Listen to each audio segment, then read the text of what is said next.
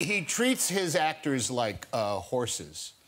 Um, uh, uh, because because uh, when he was doing, there's a great show, Rawhide. I don't know if you're old enough to remember Rawhide. He played Yeah, Rowdy yeah. Yates, a western, uh, and uh, he had all these old uh, directors there for, who directed movies that made a big deal about yelling action.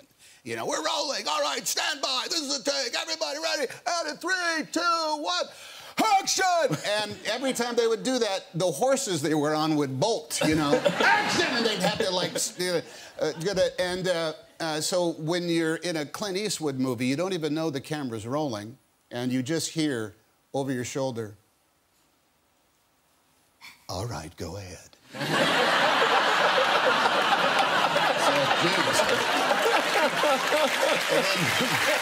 and you know, you do it, and sometimes you're doing some pretty hot stuff, and you just keep doing